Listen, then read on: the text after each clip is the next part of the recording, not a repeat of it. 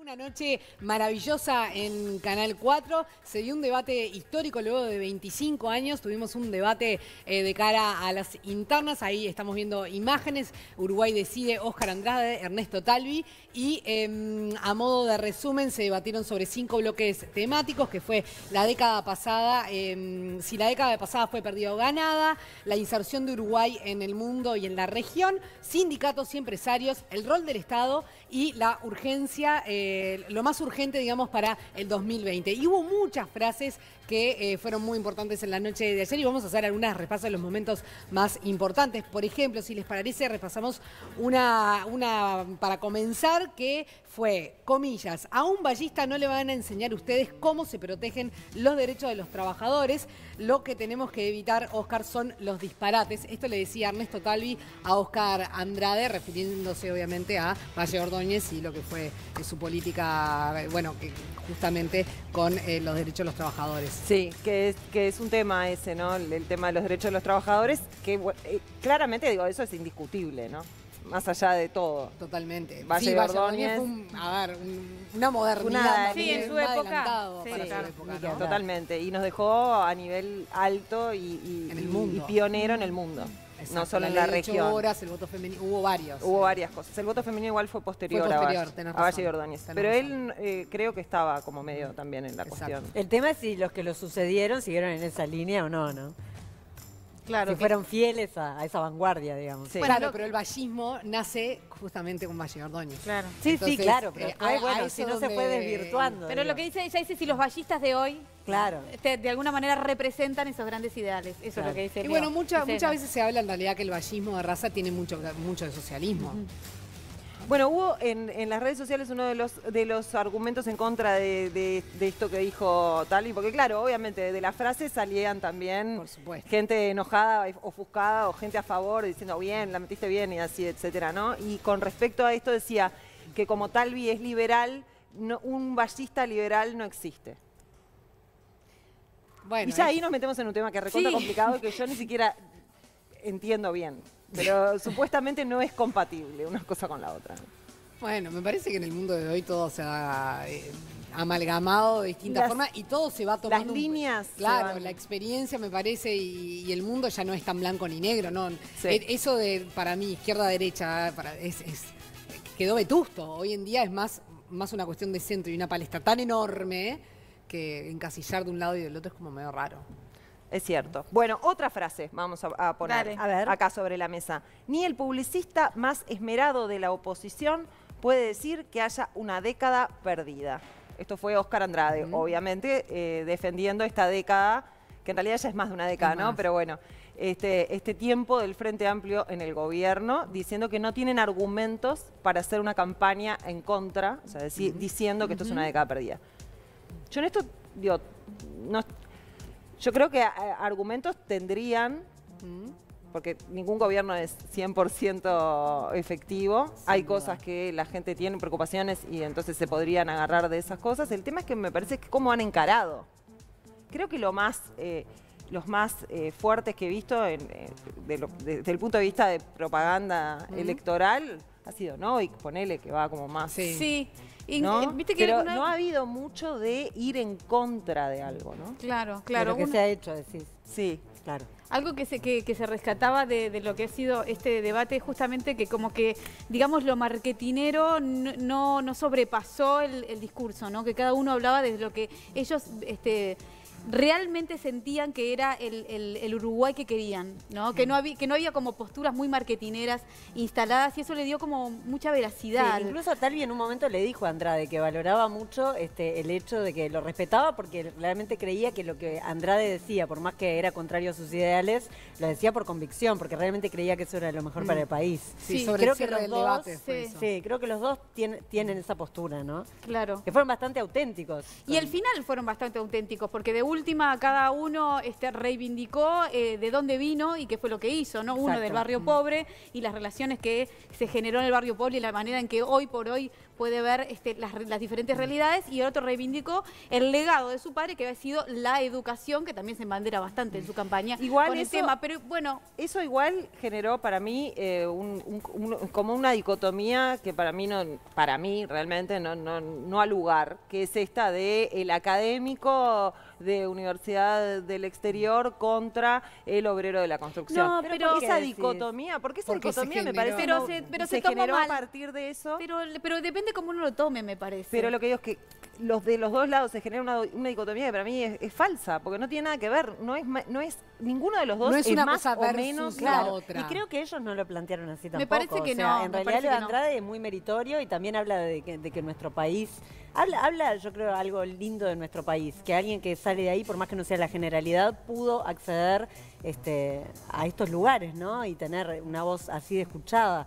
Y lo de Talvi me parece que también lo planteó como, bueno, tuve esta circunstancia favorecedora. Que fue lo único que pude dejar mi padre, claro. Claro, y pude hacer algo realmente bueno, pude explotarlo eso y llegar a lo máximo. Por eso no son dicotómicos. Por eso. Son dos historias. Se empezó a plantear claro, la gente lugar como si fuera una cosa que se, que se opone, ¿no? y eso me parece importante, o sea, señalarlo. No es, no es, no es oponible eso cuando son precandidatos a la presidencia, porque ambas historias de vida son válidas y ambos lugares les permiten llegar a donde están, como decía Leo. O sea, no, no, Pero digo que hasta en los discursos yo los sentí como bastante alineados a ellos, ¿no? Yo no sé si la gente no esperaba que se engancharan más, que se, ¿me, entendés? Para mí hubo, para mí hubo pique. Me parece que hubo por momentos, como todo, a ver, hace muchos años que en este país no se debate, por lo tanto me parece que la dinámica a veces, eh, es decir, la práctica hacia el maestro y el, debatir todo el tiempo hace que salgan mejores debates y que cada uno esté más entrenado. Eh, fue el primero, después de muchísimo tiempo. Eh, y yo lo, lo, vi bien. Creo que en algunos momentos se picó más y en otros momentos se picó La menos. La gente dice que, que arrancó medio liviano. Te estoy diciendo, eh, pensando un poco, no, porque hoy, hoy decía, eh, hoy este, escuchando en el informativo sobre varias opiniones, decían que arrancó muy con el pasado y que había mucha gente que estaba con la necesidad de hablar del país que, de ahora y de lo que queremos, ¿no? Pero lo otro es inevitable. Pero eso también como que sobrevoló en la opinión de la gente. Para mí hubo, energéticamente hubo como, mm, eh, estaban como opuestos. Ah. Eh, lo vi a Andrade al principio muy energético y a Talvi un poco más más, más eh, menos energético, por decirlo de alguna manera, y después como que Andrade bajó un poco y Talvi subió en su energía. Sí, se equipararon. No, no, no, no ah, se equipararon. Quedaron también así, después así. Ah, se dieron vuelta, digamos. Yo lo noté así, eh, pero eso es una sensación muy... Claro. es muy personal. A ver, también mire, a mí me gusta mirar mucho la, expresión personal, la, expresión, digamos, de, de cada uno. Y, noté, por ejemplo, que al arranque eh, Talvi lo noté más nervioso, incluso en su tono de voz, que como que temblequeaba. Eh, no temblequeaba, pero sí que tenía como un, no sé, un, sonido diferente. Viene mal de Decía mucho, eh, eh, no, no, no, no, eso más sobre el eh, final. No, no, no, un, un tono. Y Andrade con las manos y la lapicera. Entonces ahí es donde también ves por dónde canaliza los nervios cada uno. A mí me pasó, a mí me pasó que, justamente no entendí por qué, pero eso es, como una cosa mía, o no lo vi o no vi un cambio. Hubo una tanda, ¿no? En el medio. Esa tanda te permite Dos, ¿no? Creo que no me acuerdo. sí. dos, ahí está. Pero bueno, pero la, primera para mí era como la fundamental. Eso te permite acomodar si vos estás asesorando, ¿no? Acomodar cuestiones que tienen que ver con que estás comunicando, ¿no? Sí. Entonces, para mí, eh, para mí, es una opinión personal, pasaba algo, por ejemplo, que Oscar Andrade no miraba, o sea, me parece que estaba intentando mirar la cámara, ¿no? O sea, mirar a la gente, y en realidad no estaba estrictamente mirando a la, gente, sino que quedaba medio ahí en el medio. Hay un lugarcito solo, ya nos lo explicó Cristina Morán, a mm. dónde hay que mirar. ¿Cuál es? ¿Cuál es? No sé, es mágico. A veces uno le invoca y a veces no. Ah.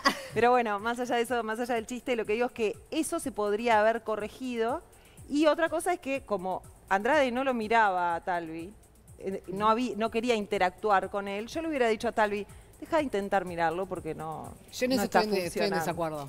Yo también estoy en desacuerdo. Para a mí que, Andrade mirara, más allá que le invocara al punto, que no sé si yo ahora le estoy invocando, ¿no? Señor, señora, este caravana me guía.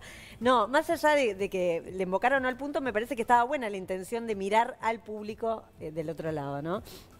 Lo de Talvi, que creo que la, idea era mirarlo a Andrade, este, no se entendía del todo, o sea... Yo lo, yo leí al revés, para mí eh, Talvi miraba, miraba bastante a Andrade y miraba a la gente, y Andrade solo miraba a la gente, entonces es como de alguna manera no estás dialogando, en un diálogo, porque en definitiva se estaban contestando, si vos ignorás a la otra persona, me parece hasta como... Mm, capaz que no, falta de respeto es un poco fuerte, pero como un ninguneo que no, no está bueno. Y al revés, me parece que, que te hace más calidad humana estar mirando a la gente y mirando a quien está a tu lado discutiendo contigo. Sí, hay que verle. Yo no lo hubiera dicho. Pero no, yo lo hubiera dicho, sí. Yo estoy de acuerdo con, Valeria. Yo creo que en algún punto, si hay un equipo que asesora, que está ahí prestando atención y que está de alguna manera midiendo, ¿no? este, cómo estás, cómo es tu candidato de alguna manera te está representando, vos tenés que, imprimir. Yo le hubiese imprimido así, como decís vos, cierta fortaleza. Claro. No, bueno, este, concentrate acá. Porque también eso da nervio. Mira, yo te miro y te miro y no me miras y no me miras y no me miras. Yo no sé si eso. Pero para mí no, te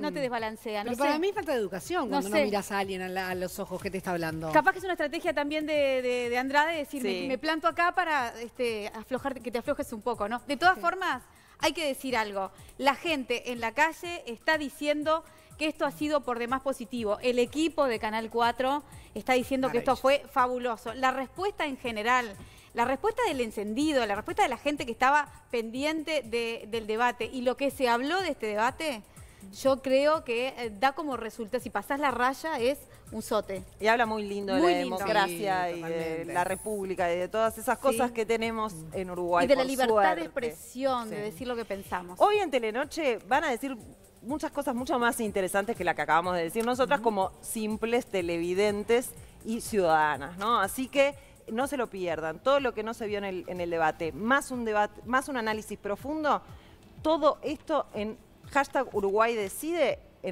y todo el análisis de lo que sucedió con el hashtag justamente en las redes sociales va a estar en Telenoche hoy de noche.